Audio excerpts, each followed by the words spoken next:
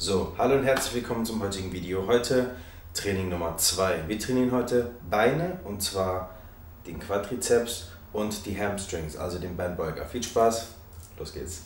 1000 Euro Cash. Außerdem gibt es einen Wellnessurlaub in Südtirol mit kostenloser Massage und Essen. Rice Cream Sponsoring. 1200 Euro Coachings für dich und es gibt Dropsticks mit dazu. Klingt gut. Dann viel Spaß bei unserer 8-Wochen-Challenge. Zum Start der Challenge bekommst du keinen einfachen 0815-Plan in die Hand gedrückt auf ein Blatt Papier oder so. Nein, das ist individuell auf dich angepasst und das Ganze findet in einer Betreuung statt mit regelmäßigen Check-ins. Ist ja quasi wie ein Coaching. Ja, aber 50% günstiger, denn das Ganze findet in der Challenge statt. Und alle Infos dazu findest du unten in der Beschreibung. In der Beschreibung. Viel Spaß dabei. Wenn ihr das vorherige Video verpasst habt, lade ich euch gerne ein, äh, das vorherige Video anzuschauen. Das ist Brust und Arme. Da erkläre ich so ein bisschen was über die Perfect Line of Pull, wie ich meine Wiederholungen kreiere oder wie ich sie versuche auszuführen. Das geht heute in diesem Video weiter, allerdings nicht so tief im Thema. Deswegen, falls euch das interessiert, warum ich welche Wiederholungen wie mache, vorheriges Video. Beintraining heute. Ähm, ich habe heute begonnen mit Kniebeugen ist für mich eine der essentiellen Übungen. Erstens haben wir viele Muskelpartien, die gleichzeitig arbeiten, wodurch wir gleichzeitig mehr Kilokalorien verbrennen können. Zweitens ist es ähm, eine körpermuskelübergreifende Übung. Das heißt, es ist nicht nur ein Teil oder einen separierten Muskel, den ich trainiere, sondern quasi den ganzen Körper.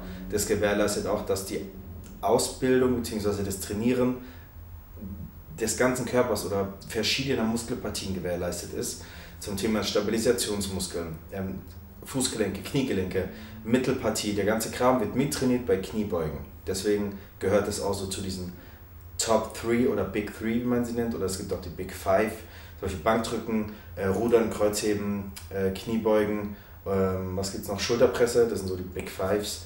Und Kniebeugen gehört dazu.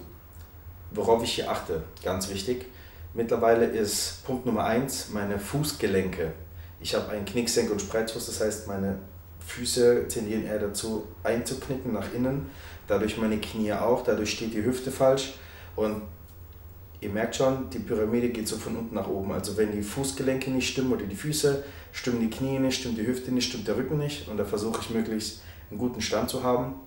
Wir haben hier fünf Sätze. Der erste Satz ist zum Reinkommen, der zweite Satz ist ein Arbeitssatz, der ist ganz okay, aber der ist nicht so wirklich anstrengend. Dann der dritte, vierte und fünfte, das wären die schweren Arbeitssätze.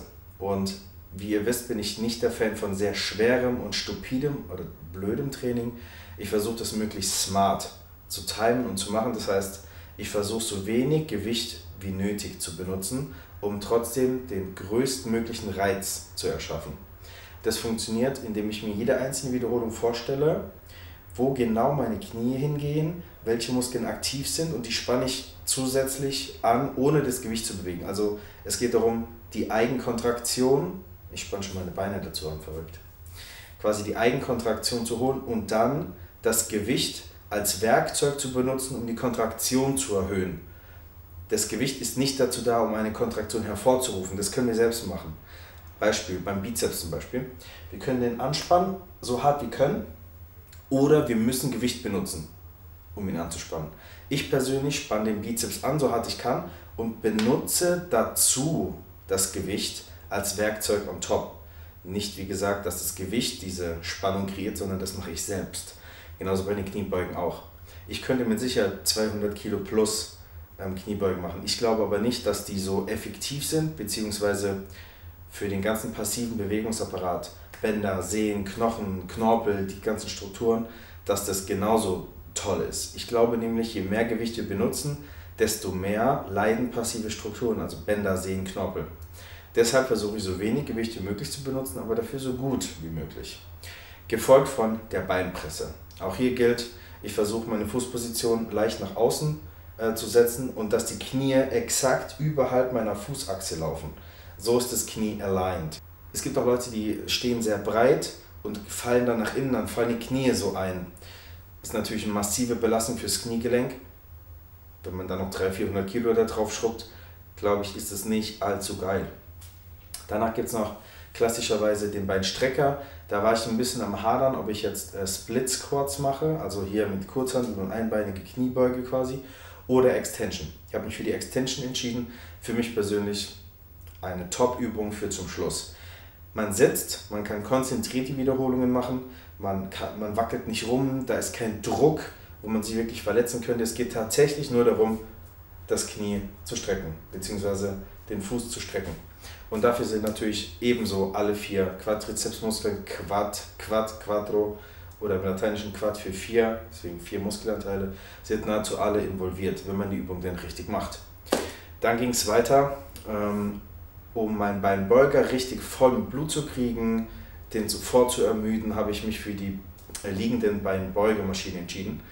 Hier habe ich die Möglichkeit, dass ich quasi konzentriert in der Maschine liegen kann, mit relativ, relativ viel Gewicht, gute, saubere Wiederholungen machen kann. Wichtig dabei, man muss versuchen, einer der beiden Drehmomente zu eliminieren.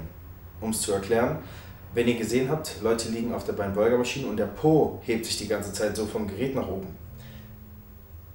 Ja, damit kann man mehr Gewicht bewegen, aber dadurch, dass die Hüfte nach oben geht, ist der Weg des Beinbeugers verkürzt. Das heißt, wir nehmen uns Weg, den der Beinbeuger machen müsste. Fühlt sich gut an, weil es ein bisschen leichter ist, man kann mehr Gewicht bewegen, aber versucht mal, das Becken am Polster zu lassen. Also wirklich Becken dagegen pressen, Oberkörper aufrichten und dann Curl mal.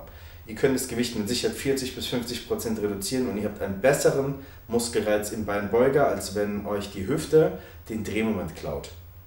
Danach geht es, wie gesagt, mit vollem und schön vorermüdetem Muskel ans Kreuzheben. Kreuzheben. Stiff Leg Deadlifts, also mit gestreckten Beinen.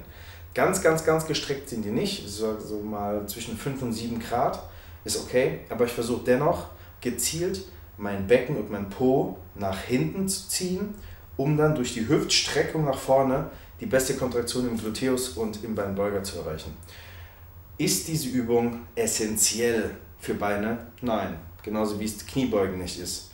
Man kann mit ganz vielen Übungen gute Beine aufbauen. Aber ich glaube auch, dass diese Hüftstreckung ähm, einen anderen Effekt auf der Bühne, also später beim fertigen Körperbild, ergibt, als wenn man nur rein Knie beugt, also ne, curlt mit dem Beinbeuger.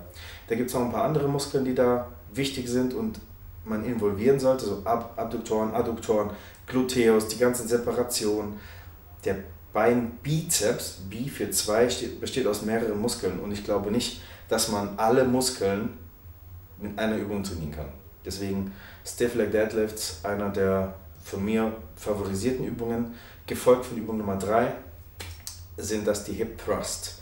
Lange verschrien als eine Übung für Frauen, ja zugegeben, es macht einen großen runden Po, aber dicke Ärsche stehen auch Männern. Punkt Nummer 1. Punkt Nummer 2 ist es unheimlich wichtig, gerade für mich, meine Rückseite, also die Hinterseite meiner Beine, ist nicht meine Stärke. Deshalb setze ich auf Hip Thrust, weil es eine Übung ist, die auch über die Hüftstreckung funktioniert und man hat die Möglichkeit, dadurch, dass die Beine etwas angewinkelt sind, man den Beinbeuger etwas mit involvieren kann. Also wenn man die Übung richtig macht, das heißt richtig, sehr intensiv und bedacht, hat man die Möglichkeit, äh, mehr als nur den Gluteus zu trainieren, also auch den Beinbeuger.